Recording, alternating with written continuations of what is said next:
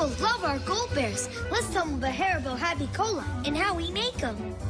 Wow! This is huge. Yes, indeed. This is how we get the big cola flavor of Happy Cola into the world's smallest bottle.